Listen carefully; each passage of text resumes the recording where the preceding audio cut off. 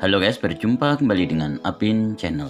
Kali ini saya ingin berbagi tutorial bagaimana cara mengetahui password sosial media kita, semua sosial media kita yang lupa passwordnya melalui laptop atau PC guys. Seperti apa tutorialnya? Yuk kita simak tutorialnya berikut ini.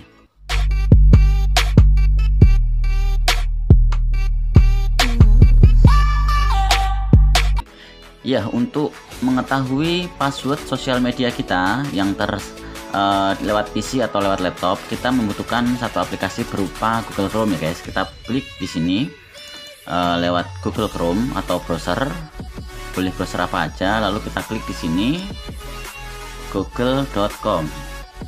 Oke, kita tunggu google.com muncul tampilan semacam ini guys. Lalu pada titik tiga di sini, titik tiga ini guys, ini silahkan diklik lalu pilih setting. Setting ya guys. Pilih setting lalu ini. Auto fill lalu klik di sini password.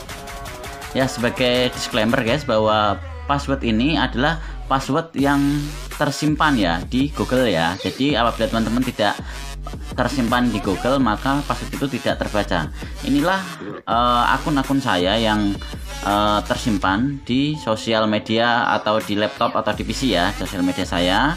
Ini tinggal kita klik yang namanya ini apa namanya? Tanda mata. Ini ketika mata ini kita klik maka password itu secara otomatis terbaca di tampilan laptop ini.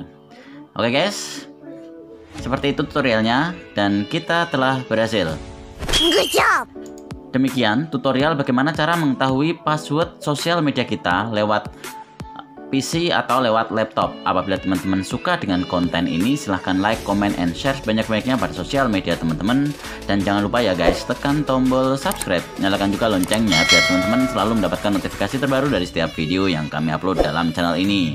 Oke, saya akhiri saya ucapkan terima kasih. Sampai berjumpa pada tutorial-tutorial berikutnya.